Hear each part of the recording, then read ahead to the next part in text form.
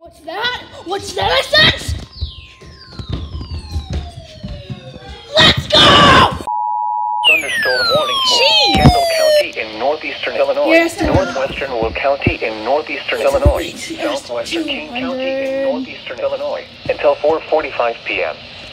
At 3:26 p.m., a severe thunderstorm was located over Sugar Grove, or 7 miles southwest of Batavia, moving southeast at 15 miles per hour. Hazard: 60 miles per Yes, hour. with 200. Finally! hail. Uh, Source, radar indicated. Impact, hail damage to vehicles is expected. Expect wind damage to roofs, siding, and trees.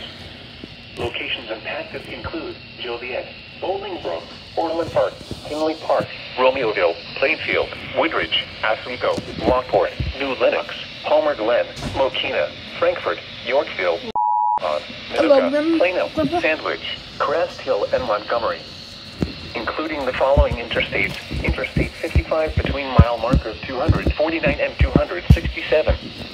Interstate 80 between mile markers 124 and 149. Interstate 88 between mile markers This is the IS 109 and 113. It's happening. Interstate After 355 between mile markers 1 and 7 and near mile marker 11.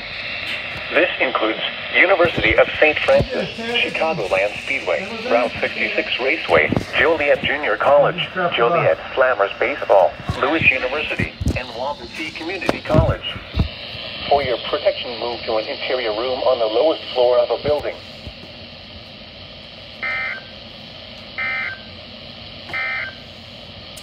This is no